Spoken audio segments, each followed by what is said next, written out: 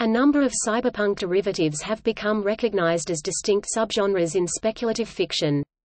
These derivatives, though they do not share cyberpunk's computer's focused setting, may display other qualities drawn from or analogous to cyberpunk, a world built on one particular technology that is extrapolated to a highly sophisticated level this may even be a fantastical or anachronistic technology, akin to retrofuturism, a gritty transreal urban style, or a particular approach to social themes. One of the most well-known of these subgenres, steampunk, has been defined as a kind of technological fantasy, and others in this category sometimes also incorporate aspects of science fantasy and historical fantasy. Scholars have written of these subgenres' stylistic place in postmodern literature, and also their ambiguous interaction with the historical perspective of postcolonialism. American author Bruce Bethke coined the term cyberpunk in his 1980 short story of the same name, proposing it as a label for a new generation of punk teenagers inspired by the perceptions inherent to the information age. The term was quickly appropriated as a label to be applied to the works of William Gibson, Bruce Sterling, John Shirley, Rudy Rucker, Michael Swanwick, Pat Cadigan, Lewis Shiner, Richard Kadrey, and others. Science fiction author Lawrence Person, in defining post-cyberpunk, summarized the characteristics of cyberpunk thus, Classic cyberpunk characters were marginalized, alienated loners who lived on the edge of society in generally dystopic futures where daily life was impacted by rapid technological change, an ubiquitous datasphere of computerized information, and invasive modification of the human body. The relevance of cyberpunk as a genre to punk subculture is debatable and further hampered by the lack of a defined cyberpunk subculture, where the small cyber movement shares themes with cyberpunk fiction and draws inspiration from punk and goth alike. Cyberculture is much more popular though much less defined, encompassing virtual communities and cyberspace in general and typically embracing optimistic anticipations about the future. Cyberpunk is nonetheless regarded as a successful genre, as it ensnared many new readers and provided the sort of movement that postmodern literary critics found alluring. Furthermore, author David Brin argues, cyberpunk made science fiction more attractive and profitable for mainstream media and the visual arts in general.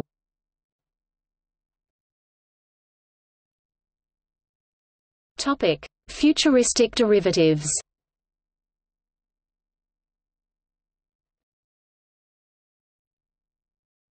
Topic: Biopunk. Biopunk emerged during the 1990s and focuses on the near-future unintended consequences of the biotechnology revolution following the discovery of recombinant DNA. Biopunk fiction typically describes the struggles of individuals or groups, often the product of human experimentation, against a backdrop of totalitarian governments or megacorporations which misuse biotechnologies as means of social control or profiteering. Unlike cyberpunk, it builds not on information technology but on biorobotics and synthetic biology. As in post-cyberpunk however, individuals are usually modified and enhanced not with cyberware, but by genetic manipulation of their chromosomes.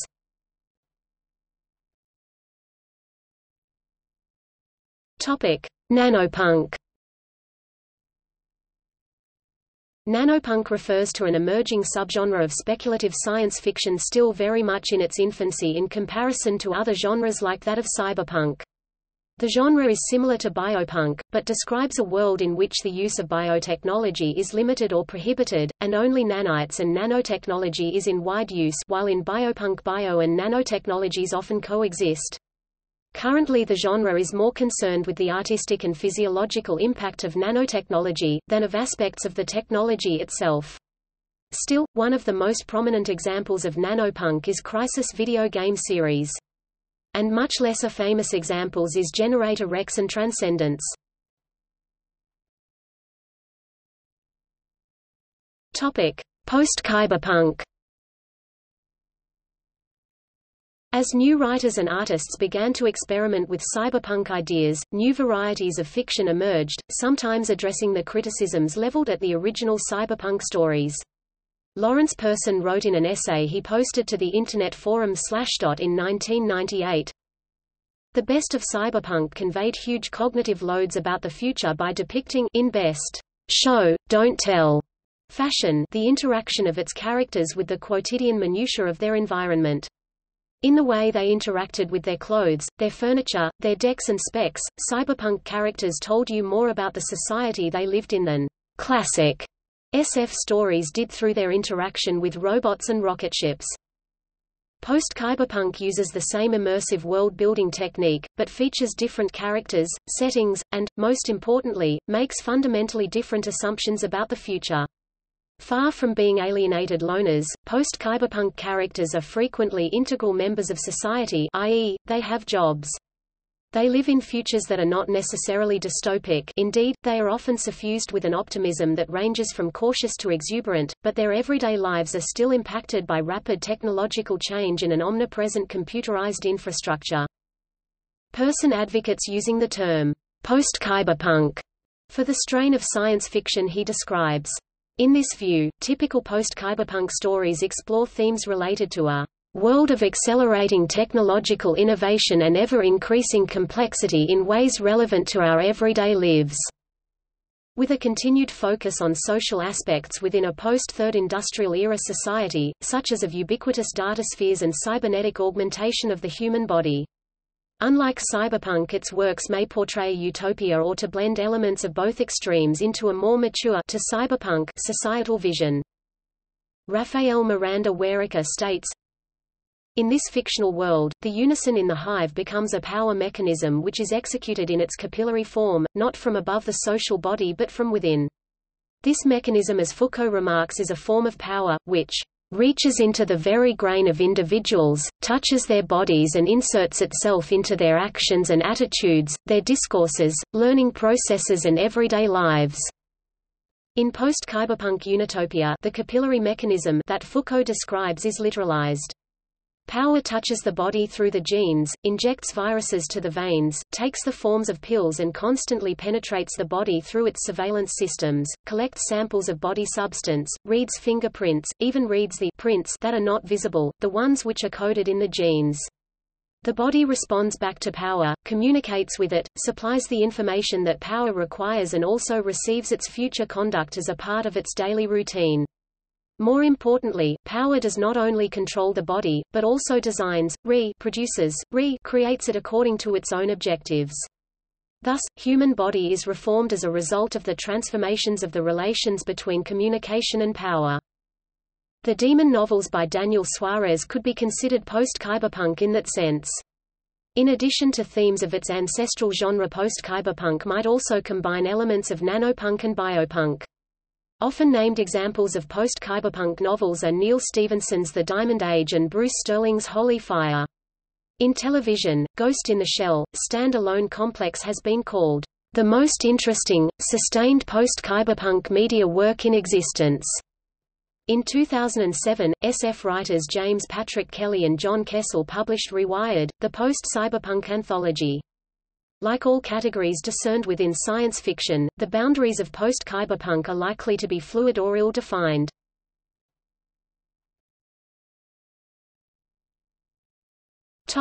Retrofuturistic derivatives.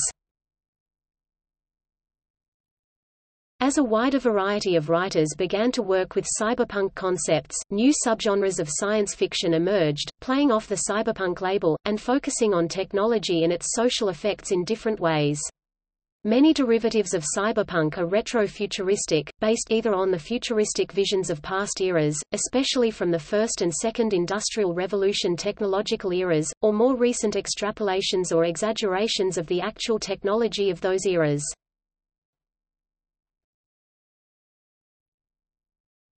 Topic: Steampunk.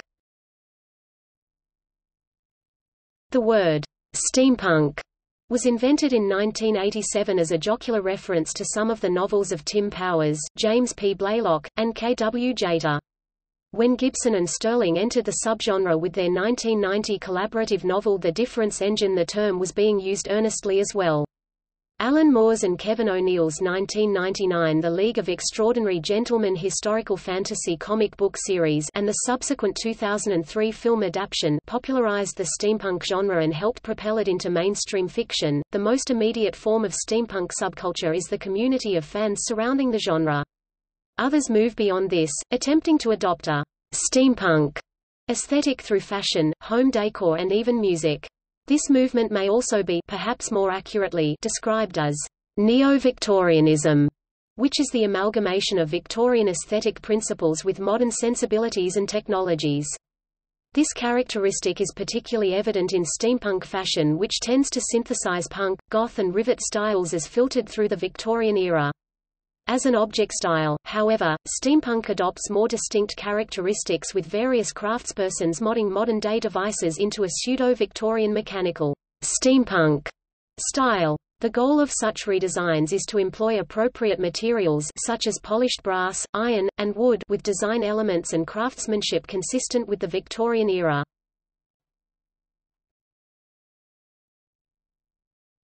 Topic: Dieselpunk. Dieselpunk is a genre and art style based on the aesthetics popular between World War I and the end of World War II. The style combines the artistic and genre influences of the period including pulp magazines, serial films, film noir, art deco, and wartime pin-ups with retro-futuristic technology and postmodern sensibilities. First coined in 2001 as a marketing term by game designer Lewis Pollak to describe his role-playing game Children of the Sun, Dieselpunk has grown to describe a distinct style of visual art, music, motion pictures, fiction, and engineering. Examples include the movies Iron Sky, Rocketeer, K-20, Legend of the Mask, Sky Captain and the World of Tomorrow and Dark City, and the games Crimson Skies, Greed Corp, Gatling Gears, Bioshock and its sequel Bioshock 2, The Legend of Korra and Skullgirls.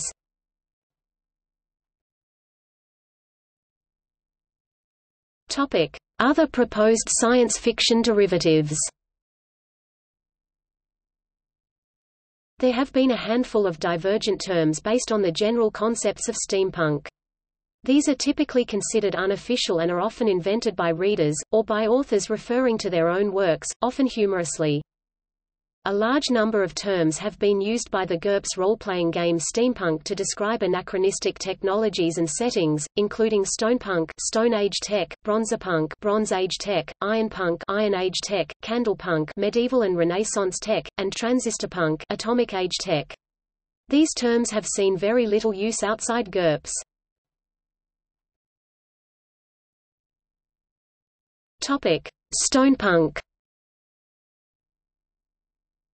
Stonepunk refers to work set roughly during the Stone Age in which the characters utilized Neolithic Revolution-era technology constructed from materials more or less consistent with the time period, but possessing anachronistic complexity and function. The Flintstones franchise and its various spin-offs, Roland Emmerich's 10,000 BC, and the flashback scenes in Crow fall under this category. Literary examples include Edgar Rice Burroughs' Back to the Stone Age and the Land That Time Forgot, and Jean M. Auel's Earth's Children series, starting with the clan of the Cave Bear. Topic: Sandalpunk The term Sandalpunk was coined by Pyramid Magazine, an in-house Steve Jackson Games periodical that published articles about the GURPS role-playing system. It is derived from the sword and sandals film genre set in ancient times and used mythical or biblical characters and plots. This genre is set in an alternate universe in which civilizations during the Ancient Era have access to advanced fantastic Bronze Age or Iron Age technology. This would potentially lead to a less isolated retro-futurist Greece that was never conquered or a retro-futurist Roman Empire that never fell. Prime examples would be the mechanical wonders in films like Jason and the Argonauts 1963 and Clash of the Titans 1981 or the God of War video game series. High technology in such works is rare usually a one-off by a genius philosopher or a handcrafted trade secret product made by workshops of artificers but potentially indistinguishable from miracles or magic. Another example is the retro-futuristic blend of Imperial Rome and 1930s Fascist Italy in Julie Taymor's Titus 1999. There are motor vehicles, radios, and simple firearms, but war is still waged by armor-clad troops with swords and spears. Like the other punk genres, the technology doesn't change history completely but it does have societal changes. How would automation affect the semi-skilled and specialized labor markets? How would the culture's welfare systems handle technological unemployment? How would they influence nearby rival cultures and their technological development? How would education fare in a world in which the complete writings and conflicting theories and ideas of every natural philosopher and school of thought are available? Would the development of scientific experimentation, standard classification, taxonomy, and mathematics, physics be delayed or accelerated? Would new knowledge and discoveries be freely shared with others or kept secret within a guild or school? Would the necessary pruning provided by the Enlightenment occur or would the accumulated knowledge be overwhelming and fraught with errors and contradictions? It can also be compared with modern-day Satirical TV shows set in this period like Hanna-Barbera's The Roman Holidays 1972, a rehashing of the Flintstones set in classical Rome or ITV2's Plebs 2013 present, a sitcom in which Rome is a stand-in for modern-day London. This subgenre is noted for having ancient analogues to modern technology like vending machines and water coolers or using manpower or animal power to do mechanical tasks copy and send documents, mow the lawn, or power a vehicle. The characters have anachronistic modern-day concerns and beliefs and are historically aware of modern philosophical and intellectual concepts.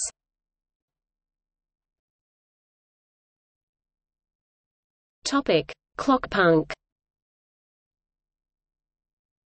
Clockpunk portrays Renaissance-era science and technology based on pre-modern designs, in the vein of Mainspring by Jay Lake, and Whitechapel Gods by S. M. Peters.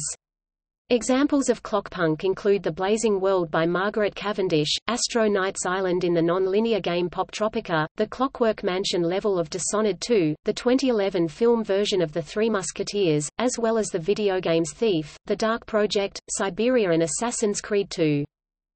The term was coined by the GURPS role-playing system. Topic: Rococo punk. Rococo punk is a whimsical punk derivative that thrusts punk attitude into the late Baroque period. Although it is a fairly recent derivative, it is a style that is visually very similar to the new Romantic movement of the 1980s particularly such groups as Adam and the Ants. As one steampunk scholar put it, Imagine a world where the Rococo period never ended, and it had a love child with Sid Vicious. Rococopunk has most recently been featured on The X Factor through the artist known as Prince Poppycock. Fashion designer Vivienne Westwood, often known as the Queen of Punk Fashion, also mixes Rococo with punk stylings.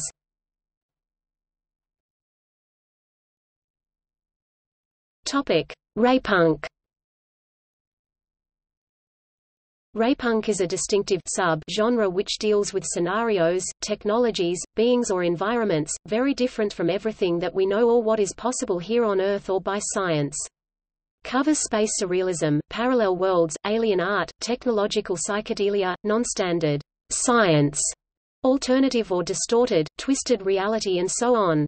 Predecessor to atompunk with similar cosmic Themes but mostly without explicit nuclear power or exactly described technology and with more archaic, schematic, artistic style, dark, obscure, cheesy, weird, mysterious, dreamy, hazy or etheric atmosphere origins before 1880 to 1950, parallel to steampunk, dieselpunk and teslapunk.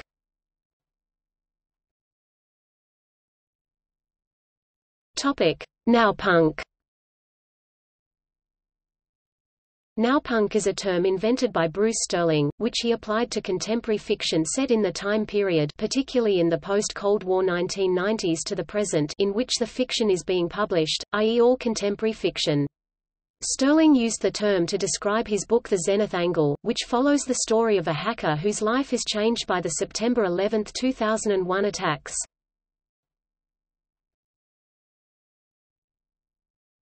Topic: Decopunk Decopunk is a recent subset of dieselpunk, centered around the Art Deco and streamline modern art styles, and based around the period between the 1920s and 1950s.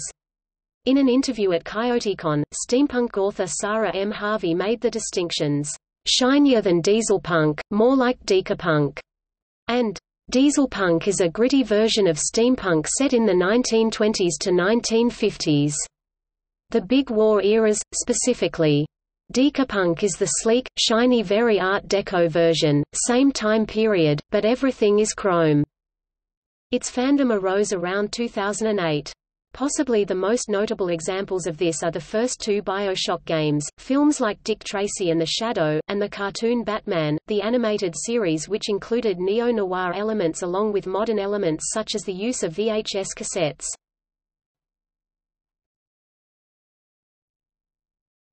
Topic: Atompunk.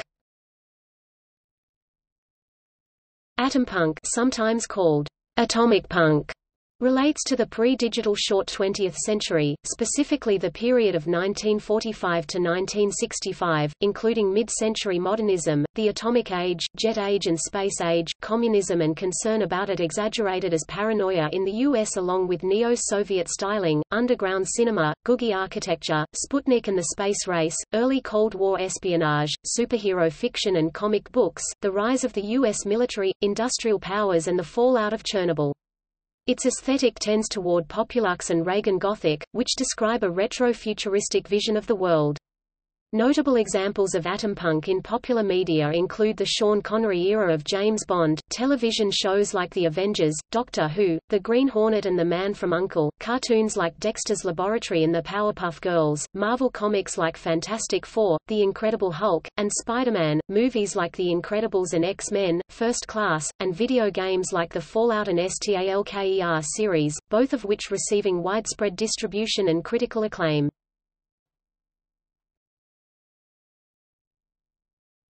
Topic: Steelpunk. Steelpunk focuses on the technologies that had their heyday in the late 20th century. In a post describing steelpunk on the SFF World website it is characterized as being about hardware, not software, the real world not the virtual world, megatechnology not nanotechnology. The artifacts of steelpunk aren't grown, printed or programmed, they're built. With rivets, examples given in the post include Mad Max, Terminator, Barb Wire, Iron Man and Snowpiercer. Other writers suggest Harry Harrison's stainless steel rat series, the Heinlein Juveniles and the film Sky Captain and the World of Tomorrow.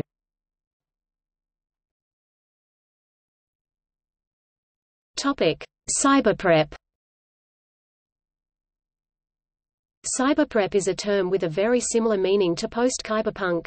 The word is an amalgam of the prefix cyber, referring to cybernetics, and preppy, reflecting its divergence from the punk elements of cyberpunk. A cyberprep world assumes that all the technological advancements of cyberpunk speculation have taken place but life is utopian rather than gritty and dangerous. Since society is largely leisure-driven, advanced body modifications are used for sports, pleasure and self-improvement. An example would be Scott Westerfeld's Ugly series.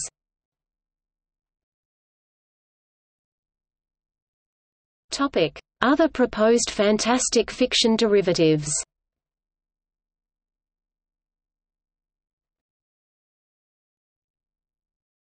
Topic: Elfpunk. Elfpunk is a subgenre of urban fantasy in which traditional mythological creatures such as fairies and elves are transplanted from rural folklore into modern urban settings and has been seen in books since the 1980s including works such as War of the Oaks by Emma Bull, Gossamer Axe by Gail Baudino, Artemis Fowl by Ian Colfer, and The Iron Dragon's Daughter by Michael Swanwick. During the awards ceremony for the 2007 National Book Awards, Judge Elizabeth Partridge expounded on the distinction between elfpunk and urban fantasy, citing fellow Judge Scott Westerfeld's thoughts on the works of Holly Black who is considered classic elfpunk. There's enough creatures already, and she's using them. Urban fantasy, though, can have some totally made-up F** CKED up sick creatures.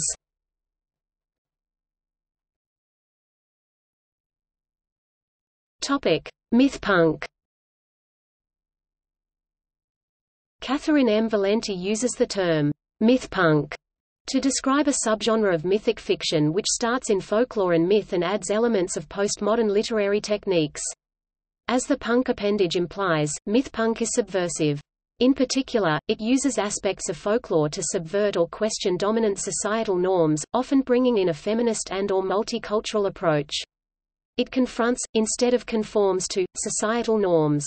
Valente describes mythpunk as breaking mythologies that defined a universe where women, queer folk, people of color, people who deviate from the norm were invisible or never existed. And then, piecing it back together to make something strange and different and wild. Typically, mythpunk narratives focus on transforming folkloric source material rather than retelling it, often through postmodern literary techniques such as non-linear storytelling, world-building, confessional poetry, as well as modern linguistic and literary devices. The use of folklore is especially important because folklore is often a battleground between subversive and conservative forces, and a medium for constructing new societal norms. Through postmodern literary techniques, mythpunk authors change the structures and traditions of folklore, negotiating and validating different norms. Most works of mythpunk have been published by small presses, such as Strange Horizons, because anything playing out on the edge is going to have truck with the small presses at some point, because small presses take big risks. Writers whose works would fall under the mythpunk label include Ekaterina Sedia, Theodora Goss, Neil Gaiman, Sonya Taaffe, Adam Christopher, and the anonymous author behind the pen name BLA and GB. Gabler. Valente's novel Deathless is a good example of mythpunk, drawing from classic Russian folklore to tell the tale of Koschei the Deathless from a female perspective.